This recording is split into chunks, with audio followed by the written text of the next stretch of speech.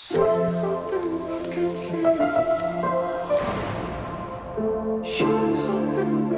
real. This is Mirror Talk, the series for The Dash. And I'm excited that, you know, this being episode one, to have this guest on. She is not only the smartest person I know, but somebody who honestly, because of her, I am where I am now. And so I'm honored to have her on, my beautiful and lovely wife, Miss Danielle Anderson. How you doing? Hello, doing well, thank you. Good. I'm glad you're here with me.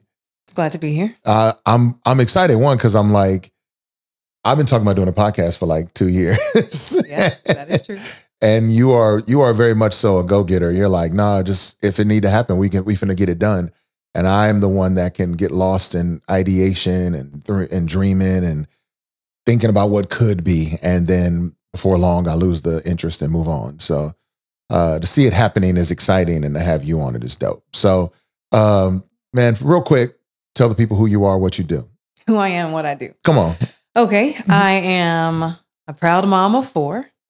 I am someone who who recognizes. I'm gonna use my I recognize statement. Let's go. I recognize that people expend ample amounts of physical, mental, emotional, and spiritual energy to just do their jobs well, be a parent, and just kind of live, uh, and can often feel depleted, potentially headed towards burnout. Mhm. And so I'm passionate, and I do feel, you know, from our own story of grief, I do feel purposed to teach whole health from the scriptures yeah. so that people can find places and ways to rest and restore and grow as agents of healing in their circles of influence, Yeah. while they also work to experience more of God's abundance. So, what does whole healing look like to you? Um, so whole health to me is so I get the idea from the just the truth that I believe we're integrated beings. Like our Yeah. thoughts affect our bodies, our bodies affect our emotions. Like Yeah. we're just inter- interconnected, and so whole health kind of looks like individuals and even communities together. I don't, I don't think it's a solo thing. Yeah. Cultivating health in various areas, whether it's mental or physical or financial or environmental or intellectual, and just kind of looking at themselves and going, what do we need in this area to be healthy, to exist more in that abundant living rather Yeah. than um, just what's not abundant? What was what was life like for me in your opinion and even for yourself as being someone in the home with me when all the things leading up to doing a song like Mirror Talk were happening? What was life like? Yeah, like what was I I I know that's that's that can be hard For sure. Yeah. and frustrating. And yeah, it's a loaded question for sure. I mean, the first word that comes to mind is just hard. Like, Yeah. Life was just hard. Yeah. Um, as you're living alongside someone who is going through like the depths of stuff you were dealing with. yeah. I mean, it's hard. Like one, it's hard from like just that perspective of like, man, that person is going through some really heavy stuff in their countenance. Like you can see it in your body, your countenance, your shoulders would be kind of hunched. Mm-hmm. Like that was just hard to watch from you as an individual perspective. But then you think about like, but you as an individual affect lots of areas of my life. Yeah. And I need your healthy presence here. And so you Yeah. think about like the impact that had on us in our relationship and then your presence in the home and how that affects then the boys and then you know um, professionally what you're dealing with how that affects your profession and i'm like this is how we eat um, because at the time i was primarily a home educator Yeah. and didn't was not bringing in any money i mean i taught yoga classes at the at the y Yeah. but that was not making a huge significant impact on our finances. Nah, And that's real. There there's like a large ripple effect of man, where you are really affects a whole lot of spaces. It not, doesn't just affect you. Yeah.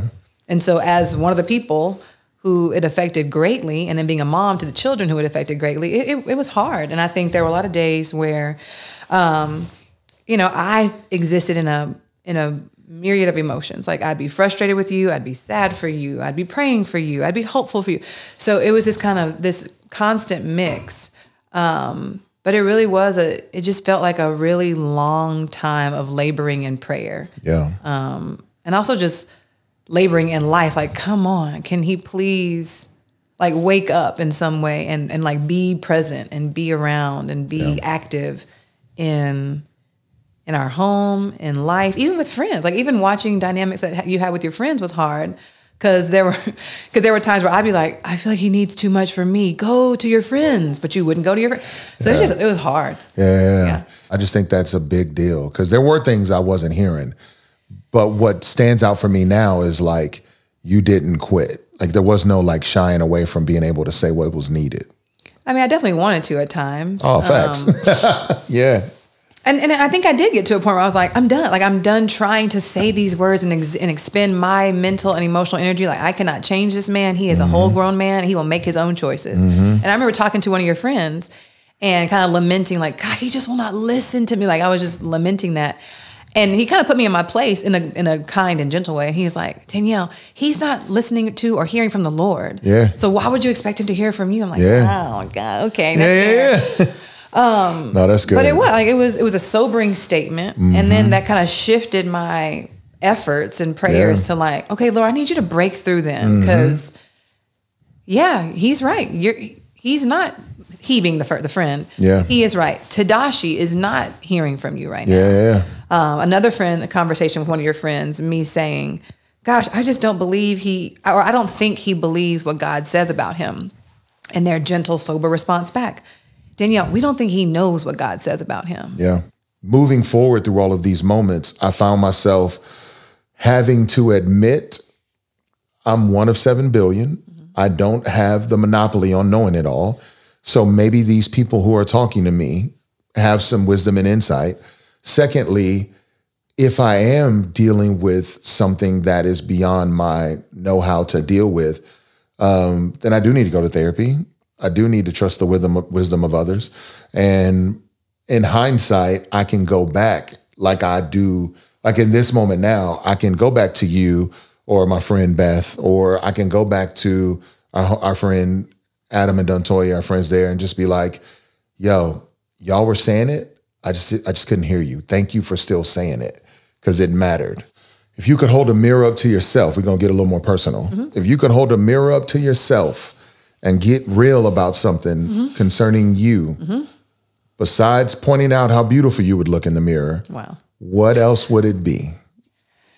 I, and it kind of might be a shame narrative, or it is a shame narrative. I have an old, deep rooted belief that I am what I do. Hmm. And so I have been work, really working to to disintegrate that idea, like to shrink that toxic Yeah, thought, yeah. if I can use the verbiage of Dr. Caroline Leaf. Real quick, explain why that's toxic. Oh, okay. Well, there's a quote. So I, I like to read. Yeah. So I got lots of books in my head. Um, one of my favorite quotes that stood out. I think it, the the your the equivalent of what the search for significance was for you. Mm-hmm. This book, at least, was for me probably six or so years ago. It's called Grace for the Good Girl. Oh yeah, yeah. I think it's called by Emily P. Freeman. I remember you reading that. And in the book, she says, I'm gonna say it slow. If what you do determines who you are, then failure to do means failure to be. Wow.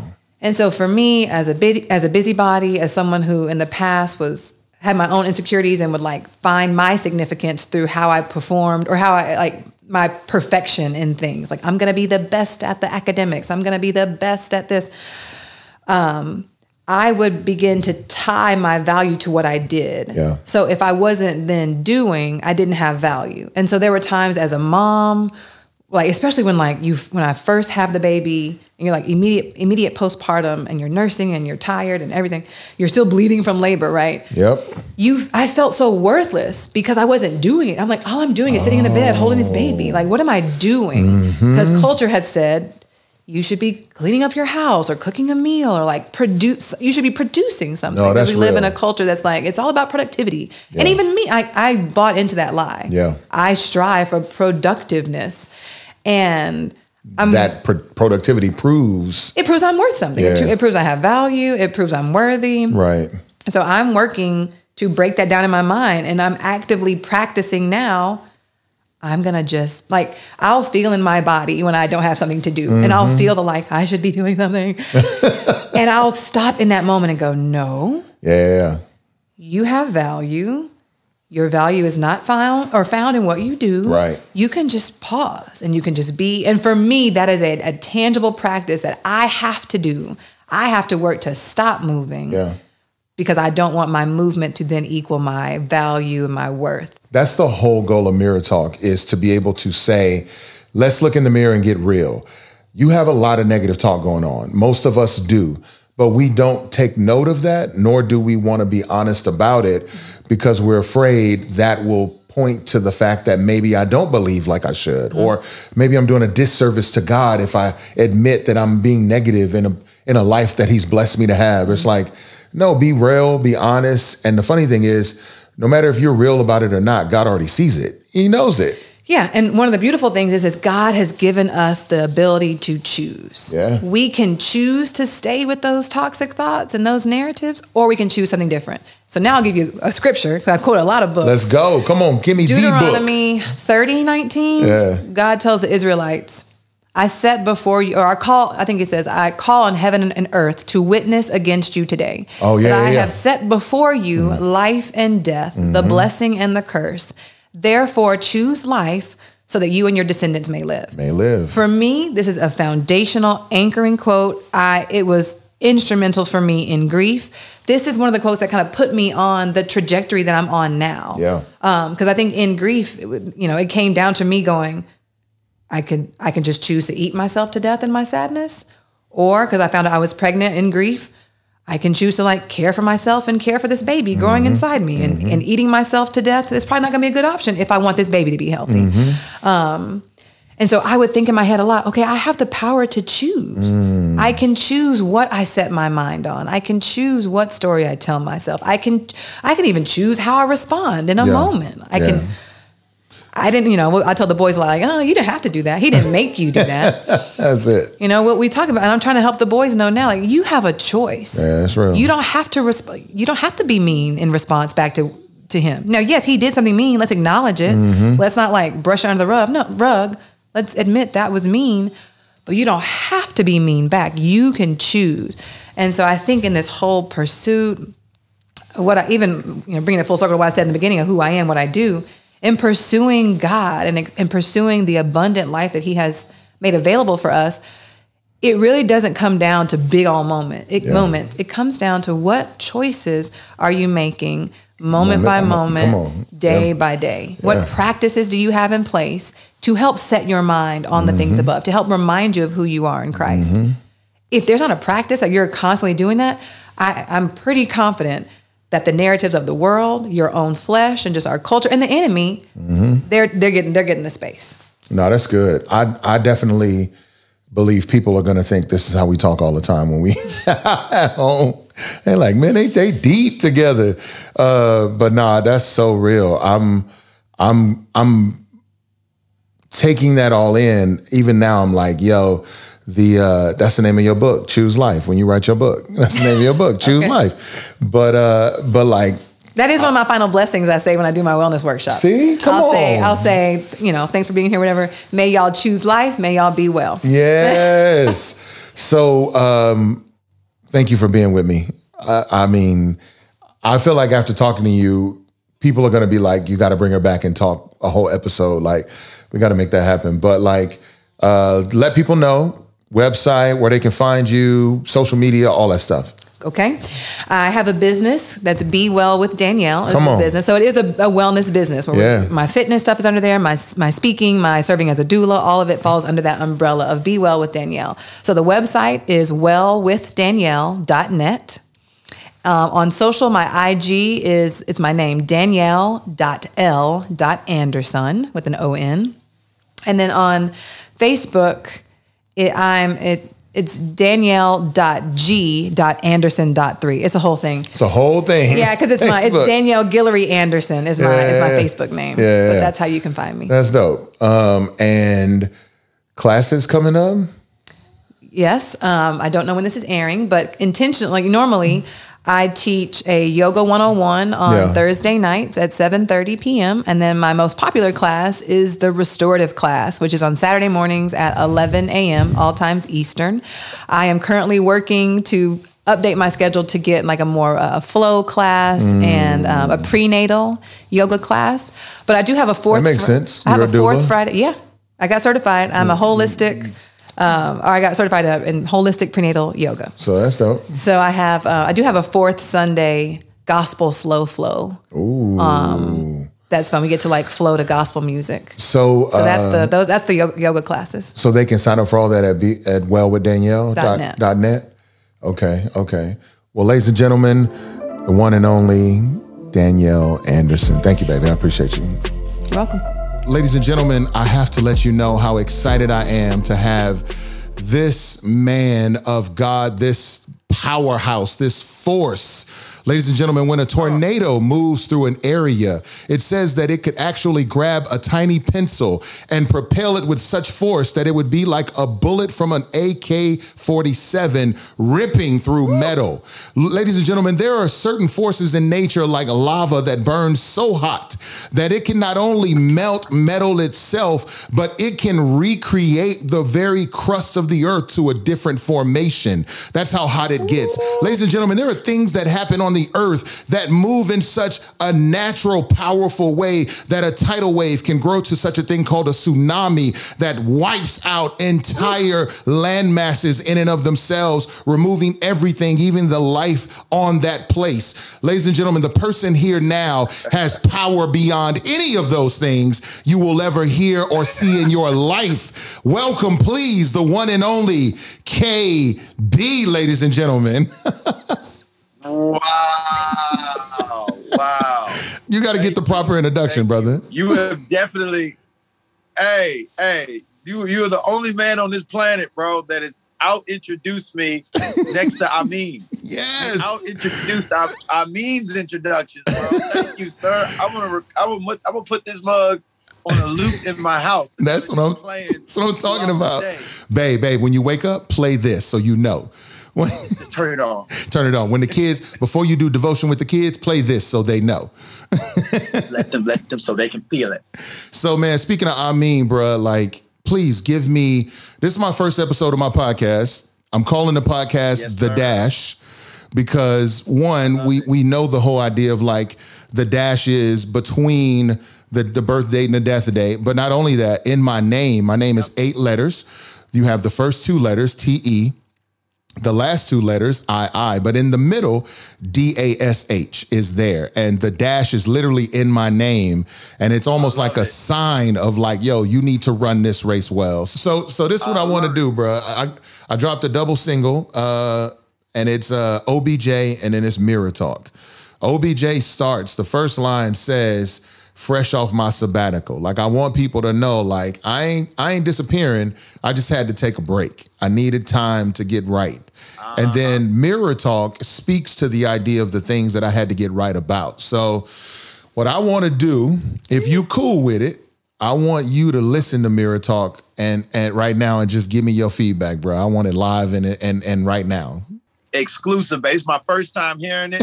I'm gonna uh I'm gonna listen to it and give you my raw reaction. Come on, man. Let's do it. Let's do it. All right. Yo, my man. Bro, first of all, dog, production, man.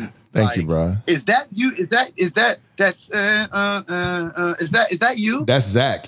Remember Zach Paradise? Bro, Yeah. bro. He produced it. That's him. That- bro, the vibes, bro. Yeah. man, I, I feel like this is a a transparent, fresh. But here's the other thing too, bro. Your lyricism has stepped up, bro. Thank you, bro. I, Yes. you, you know what? Because I, got to listen to it. I got. I'm listening to it as a fellow artist, so you know I'm Right. thinking analytically. Yes. You know what I'm saying? yes. bro, dog. The, I, don't know what happened during the sabbatical, bro. I don't know. I don't know what y'all was doing. but the pen came back sharp, man. Come on, bro. That's what I'm trying to do, bro. Came back sharp, man. That's what I'm. Thank you, brother. man. Thank you, man. bro and i'm, I'm i am loving the the conversation man i'm loving uh i think that i am i am i'm struck by how transparent you are bro Yeah. I mean, it, it is like hey this is no more you know th- this is not a song and dance this is my my heart this is how i'm interested what i'm feeling what i'm thinking through Yes. bro Yes. I I admire I admire the transparency, man. Thank you, brother. I do, man. Thank you, man. Yeah, That's real. bro. I appreciate you, bro. Yeah, for real, man, that means a lot. man. Seriously. Thank you, bro. It- it- the goal was definitely to Yeah, most definitely. fight to be as transparent as I could, bro. Like fight to be as honest as I could be, to to be as transparent. But also the goal was to say, I wanna, I believe, you know, I believe certain activities beget other activities. So I believe love begets Right. love, empathy begets more empathy. And I feel like uh, Lord willing, hopefully the transparency will beget more transparency in other people to be able to discuss these things in a real way. And so I feel like I, I feel like I had a chance to say things publicly and privately with different people to foster this moment on the record so that I could say Right. honestly what I was feeling about myself, about others, about Right. you know everything from body image to uh, being a, a black man in predominantly white evangelical spaces. Like i want to speak to all of this. And so Yeah. that's been the heart. And so i feel like people are starting to see that. It's eminem in the rap battle at the end of eight mile. It's like i said everything you was going to say about me clarence. Now what you know it's like that Now it's like it's like yo i called it all out now what Take the power away from the take the enemy. power Yeah. away from the enemy. And now what I have mm. is an opportunity